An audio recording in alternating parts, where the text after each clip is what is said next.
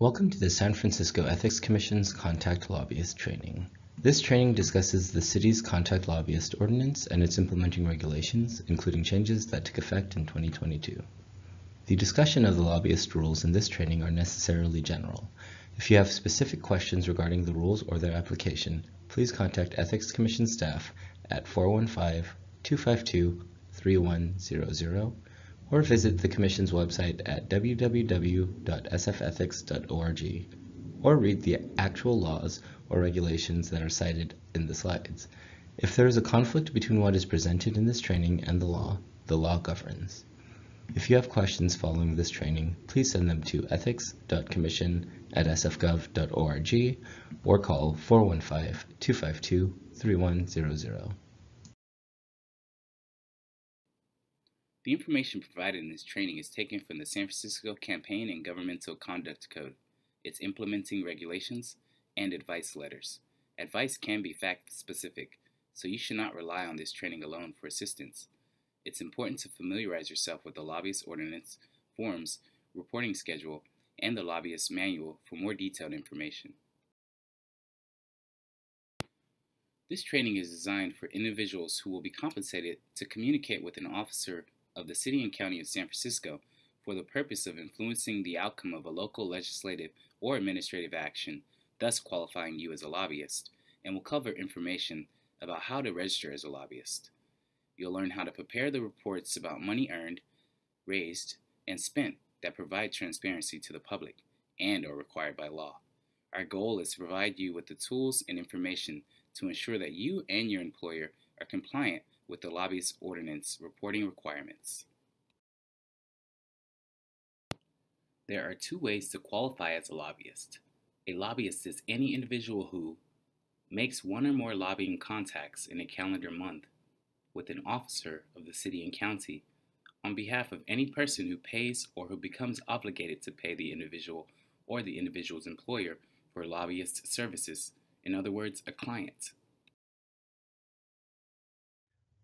A lobbyist can also be any individual who makes five or more lobbying contacts in a calendar month with officers of the city and county on behalf of their employer. However, an individual who meets this criteria will not qualify as a lobbyist if they own 20% or more of the employing entity. The next few slides define some of the terms we've just used to explain who qualifies as a lobbyist. First, an individual qualifies as a lobbyist based on the number of times he or she has a lobbying contact with an officer of the city and county. The question then is, what is a lobbying contact? A lobbying contact is any oral or written communication with an officer of the city and county, including any such communication made through an agent, associate, or employee, which is made for monetary compensation and for the purpose of influencing a local legislative or administrative action.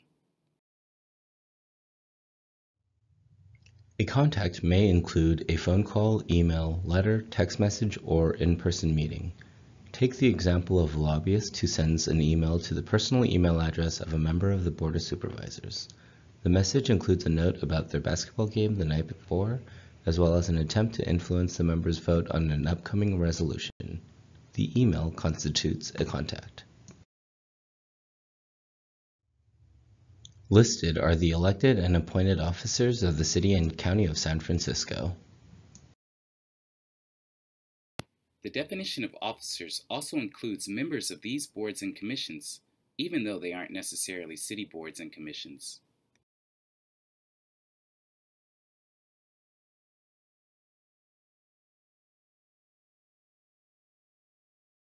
Communicating with staff members may be considered a contact for the purposes of the lobbyist ordinance. Examples of such staff include the legislative aides of the Board of Supervisors, the mayor's chief of staff, and the deputy directors of city departments. Let's say a lobbyist meets with the legislative aide of a member of the Board of Supervisors to advocate on behalf of a client for an amendment to pending legislation sponsored by the board member. Although the board member does not attend the meeting, the lobbyist should presume that the aide will convey the substance of that meeting to the board member, and thus the lobbyist will have to report the communication as a contact with the board member. However, other communications with staff are not considered a contact. For example, paid representatives of a real estate developer meet with the staff at the planning department to discuss possible modifications to the draft environmental impact report for the developer's project. The staff members do not state or otherwise indicate, and the representatives have no reason to believe that they will have the substance of their conversation conveyed to either the planning director or the zoning administrator. The representatives have not made a lobbying contact. To trigger city lobbying rules, a contact with an officer must concern a local legislative or administrative action. A local legislative or administrative action includes any action listed in the left-hand column that is taken with respect to a city matter listed in the right-hand column. Here's an important rule regarding real estate projects. Various matters concerning a single real estate project are considered a single local legislative or administrative action, and contacts regarding these matters shall be reported by referencing that single project. Now let's talk about what isn't a lobbying contact. The lobbyist ordinance explicitly exempts certain kinds of communications from the definition of a contact. Generally speaking, these exempt communications include those that are made on the public record or are compelled by law or regulation. Examples include providing oral or written testimony that becomes part of the record of a public hearing. Note that in this case, if the testimony is on behalf of a client, you must identify your client. Gathering news and information or disseminating news and information to the public as a representative of a news media organization. Other communications that are exempt from the definition of a contact include performing a duty or service that can be performed only by an architect or a professional engineer licensed to practice in the state of California, making a speech or publishing material that is distributed and made available to the public through a medium of mass communication, for example, radio or television, and providing written information in response to an oral or written request made by an officer of the city and county, provided that the written information is a public record available for public review. Communicating as an officer or employee of a 501c3 organization, certain small 501c4 organizations, or an organization fiscally sponsored by such organizations on behalf of that organization. There are more communications that are explicitly exempt from the definition of a lobbying contact. Please refer to the lobbying manual that is available on the Ethics Commission's website. Importantly, a communication with an officer regarding multiple local legislative or administrative actions is exempt only when an exemption exists with respect to each local legislative or administrative action mentioned in the communication. For example, a paid representative of a city employee labor union meets with the mayor's chief of staff regarding the working conditions of the union's members. During the conversation, the paid representative also asks that the mayor support a particular land use measure. The union representative has made one contact with the mayor.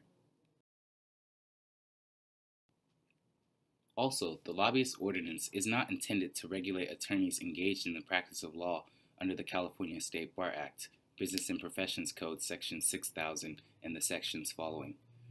In this regard, communications or activities that would constitute the unauthorized practice of law if performed by a layperson instead of a licensed attorney will not trigger lobbyist registration or reporting. However, please note that an individual will not avoid lobbyist registration and reporting simply because he or she is a licensed attorney. For example, an attorney is representing a corporation that opposes a proposed ordinance. The attorney and the chief executive officer of the corporation meet with the mayor's chief of staff. The attorney begins the meeting by stating that he represents the corporation and that he is acting in his capacity as an attorney for the corporation. Throughout the meeting, the attorney and the CEO urged that the mayor should oppose the proposed ordinance because it would adversely affect the corporation and other companies in the same business sector. The attorney and the CEO have each made a contact.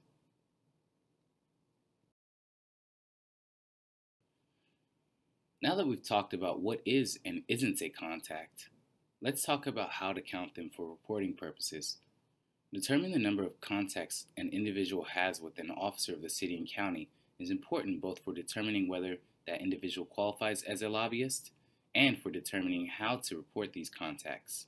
In this regard, The number of contacts should be determined according to the rules in the following slides. A meeting with an officer regarding a single local legislative or administrative action constitutes one contact. A meeting regarding two local legislative or administrative actions constitutes two contacts, and so forth. You get the idea. A meeting with an officer and a member of that officer's staff regarding a single local legislative or administrative action constitutes one contact with that officer. A meeting with two officers regarding a single local legislative or administrative action constitutes two contacts. Meeting or otherwise communicating multiple times in the same day with an officer to discuss the same local legislative or administrative action discussed earlier in the day constitutes one contact. Each letter, fax, email, text message, or similar communication, or copies thereof, sent to other recipients that pertains to a single local legislative or administrative action constitutes a separate contact even if such letters, faxes, emails, text messages, or other communications are identical or substantially similar. But multiple copies of the same communication sent from the same individual to the same officer shall constitute only one contact. Now we'll discuss how to register with the Ethics Commission as a lobbyist. Registration is required within five business days of the date that the individual meets the qualification thresholds described above. No individual who qualifies as a lobbyist may make any additional contacts with any city officers without first registering with the Ethics Commission. Individuals who qualify as a lobbyist can use the city's registration system, NetFile, to create an online account to complete and file lobbyist disclosure forms with the Ethics Commission. At the time of initial registration, you'll have to provide contact information for yourself. You'll also have to have ready a professional-like quality digital color photo of yourself displaying your head and shoulders in JPEG format to upload. Specifics about the dimensions of the photo are on the Ethics Commission website. You can designate one or more representatives to file lobbyist disclosure reports on your behalf the $500 registration fee can be paid online by using a debit or credit card or e-check, or by sending a check payable to the City and County of San Francisco to the Ethics Commission offices. You'll receive a confirming email and account password from NetFile once your registration is complete. At that time, you'll have to provide contact information for your client or clients and your employer, if any. Duty to update. Within five days of a change to the information disclosed on the registration statement, a updated registration statement should be electronically filed. Changes include updated lobbyist information, changes to the lobbyist's employer or firm information, changes to client information, including new clients as well as ending representation for old clients, and adding or removing the departments the lobbyist is registered to lobby.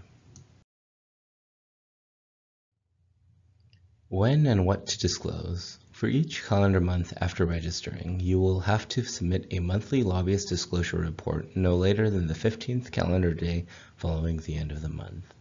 Monthly filings must be filed whether or not there is reportable activity. Lobbyist activity that is reportable includes payments received or expected for lobbyist services, contacts made with officers of the city and county, activity expenses, and campaign contributions.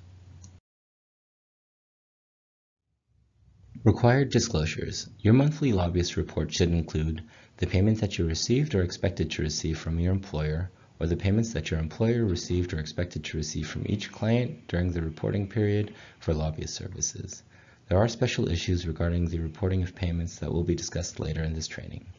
Please note, lobbyist services include time spent contacting city officers, as well as time conducting analysis, performing research, providing advice, and recommending strategy with respect to any pending, proposed, or potential legislative or administrative action. Your report must include the following details about contacts made during the reporting period. Be prepared to provide the name of each officer the lobbyist contacted, the date on which each contact was made, the local legislative or administrative action that you sought to influence, including a descriptive name, a file number if applicable, the outcome sought, as well as the general subject area you are attempting to influence, and the client on whose behalf each contact was made. You're required to report all political contributions of $100 or more delivered or arranged by the lobbyist or the lobbyist's employer during the reporting period to an officer of the city and county, a candidate for such office, a committee controlled by such officer or candidate, or a committee primarily formed to support or oppose such officer or candidate, or any committee primarily formed to support or oppose a ballot measure to be voted on only in San Francisco. Also, for each contact at which a person providing purely technical data, analysis, or expertise was present, you must provide the name, address, employer, and area of expertise of the person providing the data, analysis, or expertise. You must also report any amendments to your registration information. Lastly, report all activity expenses made, incurred, or arranged by the lobbyist, a lobbyist's client at the behest of the lobbyist, or a lobbyist's employer at the behest of the lobbyist. An activity expense is any payment that you made or asked your client or employer to make within three months of a contact who benefits from the payment or whose immediate family or registered domestic partner benefits from the expense. Activity expenses will be discussed in greater detail later in this training. This section of the lobbyist training explores special issues regarding the disclosure requirements we just discussed.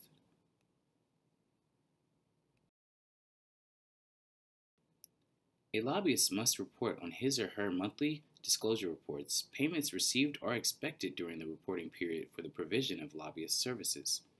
What is reported depends on whether the lobbyist represents a client or the lobbyist's employer. A lobbyist employer includes any person required to provide an IRS Form W 2 to an employee who performs lobbyist services or is owned by a lobbyist and which performs and charges clients for lobbyist services. You must report on your monthly disclosure reports economic consideration that you or your employer received or expect to receive from each client during the reporting period for providing lobbyist services, as well as any reimbursements for travel costs and other expenses related to lobbyist services. You are not required to report payments for other services provided that were not related to lobbyist services. If two or more lobbyists work for the same employer, all economic consideration received or expected from the employer's clients for lobbyist services may be reported by a single lobbyist on his or her monthly disclosure report, so long as the lobbyist discloses all such economic consideration in that manner throughout the calendar year. If you are lobbying on behalf of your employer, you will have to calculate the amount of economic consideration to report each month. To calculate the amount to report, Multiply your salary received that month, plus any bonuses or other incentive compensation, by the percentage of time that you spent performing lobbyist services. Also include any bonuses directly resulting from the lobbyist services. For example, the Director of Governmental Affairs at a large corporation is a registered lobbyist and earns a salary of $10,000 per month. She spends 10% of her time in December performing lobbyist services for her employer. She also earns a year end bonus of $10,000 in December based on her overall work performance. She must report receiving $2,000 in economic consideration for lobbyist services in December. An activity expense is any expense that you made, incurred, or arranged, or that you asked your client or employer to make, incur, or arrange within three months of a contact with an officer, candidate, or supervisor's aide who benefits in whole or in part from the expense, or whose immediate family or registered domestic partner benefits from the expense. Activity expenses include honoraria, consulting fees, salaries, and any other thing of value totaling more than $25 in a consecutive three-month period. Activity expenses do not include campaign contributions. In your monthly report include the date and amount of each activity expense, the full name and official position, if any, of the beneficiary, a description of the benefit and the amount of the benefit, the full name and official position, if any, of each payee, if other than the beneficiary, If you are reporting the salary of an individual, you need only disclose the salary in increments of less than or equal to $250, greater than $250 but less than or equal to $1,000, greater than $1,000 but less than or equal to $10,000, or greater than $10,000. Reporting campaign contributions. Future slides will cover when campaign contribution prohibitions apply to lobbyists, but here are the scenarios when lobbyists must disclose campaign contributions. Report campaign contributions of $100 or more made by the lobbyist or where the lobbyist acted as an agent or intermediary for the contribution to an officer of the city and county, a candidate for such office, a committee controlled by such officer or candidate, any committee formed to support or oppose such officer or candidate, or any committee formed to support or oppose a ballot measure to be voted on only in San Francisco.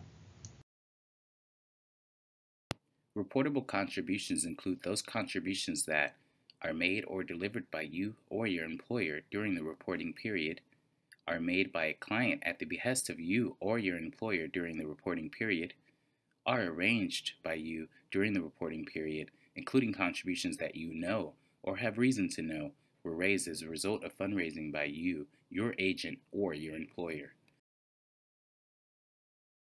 Fundraising activities include asking a person to make a contribution or inviting them to a fundraising event, providing a list of names of people to invite to a fundraising event, including your name or signature on an invitation to a fundraising event, holding a fundraising event at your home or business.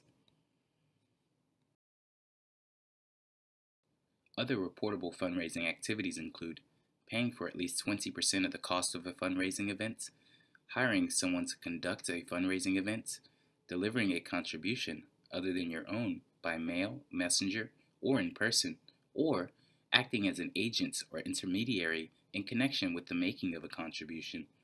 An example of fundraising is where a lobbyist solicits a contribution from one person to a candidate for the Board of Supervisors. The solicited person specifically indicates that he will mail the contribution check for $500 to the candidate the next day. After confirming the next day that the contribution has been made, the lobbyist must disclose that contribution. What to report about contributions? For each reportable contribution, disclose the amount of the contribution, the name of the contributor, the date the contribution was made, the contributor's occupation, the contributor's employer, or, if self employed, the name of the contributor's business, and the committee to which the contribution was made. There are special reporting rules for contributions that are arranged by two or more individuals. If multiple lobbyists working for the same employer together arrange contributions, or the lobbyist's employer arranges such contributions, whether through a fundraising event or otherwise, all of the arranged contributions may be reported by a single registered lobbyist. If a lobbyist arranges contributions with another individual who is neither a lobbyist nor an employee of the lobbyist's employer, the lobbyist is responsible for reporting all the contributions.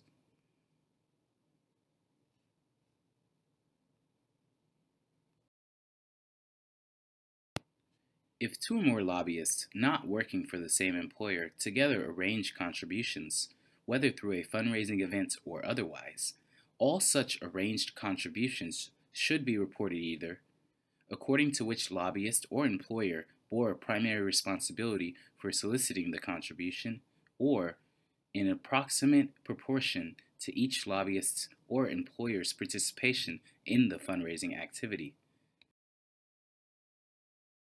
The next set of slides covers prohibitions and requirements for city lobbyists. There are some areas where certain lobbyist actions are prohibited, restricted, or required. The next set of slides are about these areas. Let's start with the subject of gift limits. Prohibition gifts from lobbyists. Contact lobbyists may not make gifts, including gifts of travel to any officer of the city and county or the officer's parent, spouse, domestic partner, or dependent children. Officers of the city and county cannot accept or solicit any gifts, including gifts of travel, from any officer or intermediary on behalf of a lobbyist to benefit the officer their parent, spouse, domestic partner, or dependent children. Please note that Proposition T, passed in 2016, removed an exemption that allowed lobbyists to make gifts of $25 or less. Prohibition on restricted source gift solicitation. Please note that Campaign and Governmental Conduct Code Section 3.216b prohibits city officers or employees from soliciting gifts from restricted sources. Restricted source examples. A restricted source is a person doing business with or seeking to do business with the department of a city officer or employee or a person who, during the prior 12 months, knowingly attempted to influence the city officer or employee in a legislative or administrative action. This includes a lobbyist, a lobbyist's client or employer, a person who does not qualify as a lobbyist due to attempting to influence on behalf of a business of which the person owns a 20% or greater share, or attempting to influence on behalf of a nonprofit where they are an officer or an employee. Local exemptions, gifts from restricted sources. The Ethics Commission provides exemptions via regulation that applies to gifts from restricted sources, including for voluntary non-cash gifts of $25 or less per calendar year. Review the regulation or contact the Ethics Commission for more details. Ethics Commission regulations can be found at www.sfethics.org under Laws and Advice. Prohibition soliciting behested payments. San Francisco city officers and Form 700 filers are prohibited from directly or indirectly soliciting any behested payment from interested parties. Interested parties in a lobbying context include lobbyists registered to lobby the officer or employee's department, and a lobbyist's employer or client, including affiliates of a client, who have attempted to influence the officer or employee's department on legislative or administrative action in the last 12 months through a lobbyist. Prohibitions on campaign contributions. No lobbyist shall make any contribution to a city elective officer or their controlled committee or a candidate for city elective office if the lobbyist is registered to lobby the agency of the city elective officer or the agency for which the candidate is seeking election, or the lobbyist has been registered to lobby that agency in the previous 90 days. If a lobbyist fails to disclose which agencies they will lobby, the lobbyist cannot make a contribution to any city elective officer, candidate, or their controlled committees. Prohibition on bundling of campaign contributions.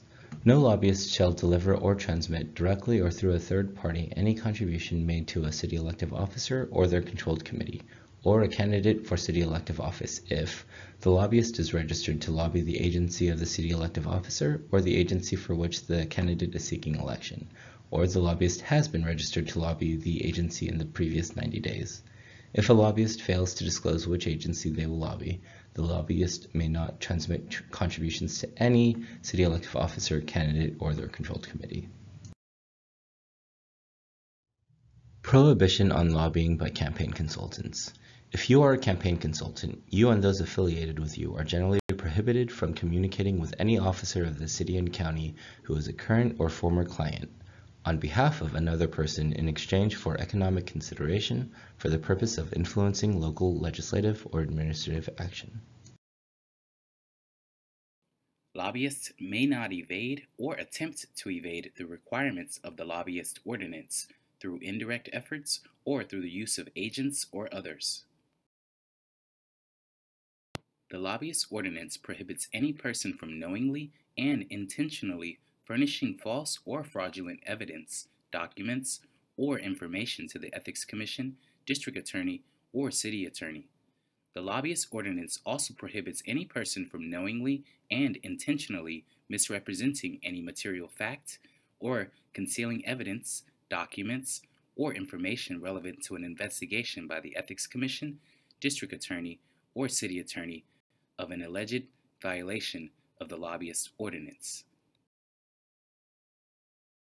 An officer or employee of the city and county is required to cooperate and assist with an investigation into an alleged violation of the lobbyist ordinance by the Ethics Commission, District Attorney, or City Attorney. You must complete a lobbyist training session offered by the Ethics Commission within one year of your initial registration. This training satisfies this requirement. Thereafter, you must attend additional training sessions as required by the Ethics Commission's Executive Director. On or before the deadline for completing any required lobbyist training session, you must file a signed declaration with the Ethics Commission stating, under penalty of perjury, that you completed the required training session. Finally, you must file a separate employment statement if you employ or induce a client to employ any city officer, any immediate family member, or registered domestic partner of a city officer, or any full time employee of the city in any capacity.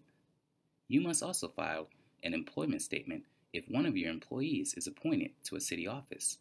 Employment statements must be filed with the Ethics Commission within 10 days of the employment or appointment. The statements must include the employee's name, the date first employed, the nature of the employment duties, and the salary or rate of pay of the employee. The next few slides will discuss administrative and civil penalties for violations of the lobbyist ordinance and the addition of clients and employers to the list of those who may be held jointly and severally liable for lobbyist ordinance violations. The Ethics Commission and the City Attorney may seek penalties of up to $5,000 per violation of the lobbyist ordinance or three times the amount not properly reported or three times the amount given or received in excess of the gift limit, whichever is greater. The city attorney may bring an action to revoke for up to one year the registration of any lobbyist who knowingly violates the lobbyist ordinance. The client or employer of a lobbyist will be jointly and severally liable for all violations of the lobbyist ordinance committed by the lobbyist in connection with acts or omissions undertaken on behalf of the client or employer. Effective January 1, 2015, Permit consultants are required to register with the Ethics Commission and file quarterly disclosure reports. An individual who qualifies as both a lobbyist and a permit consultant may elect to file only monthly lobbyist reports and not the permit consultant's quarterly disclosure report, so long as the monthly lobbyist report includes all of the information that would be reported on the permit consultant quarterly disclosure report. You must have indicated this election on your permit consultant registration statement and must continue to file in this manner through the end of the calendar year. You terminate as both a lobbyist and a permit consultant, whichever is earlier. This concludes our lobbyist training. We have attempted to summarize the key provisions of the city's lobbyist ordinance. We've identified who qualifies as a lobbyist, what constitutes a contact with an officer of the City and County of San Francisco, and outlined the types of communications that are exempt from being a contact. We've discussed how you have to register with the Ethics Commission as a lobbyist within five business days of meeting the qualification thresholds for being a lobbyist, and that you must renew your registration every February 1st. We've talked about the monthly disclosure report that you're required to file due the 15th day of every month for the preceding calendar month. We've explained how to count the number of contacts to report and what you're required to disclose and we went over prohibited and restricted activities and penalties for violations of the lobbyist ordinance. If you have specific questions regarding these rules or their application, please contact Ethics Commission staff by phone at 415-252-3100 or email at ethics.commission at sfgov.org. You may also visit our offices at 25 Van Ness Avenue, Suite 220, San Francisco, California 94102. Thank you for your participation in the Lobbyist Ordinance Training.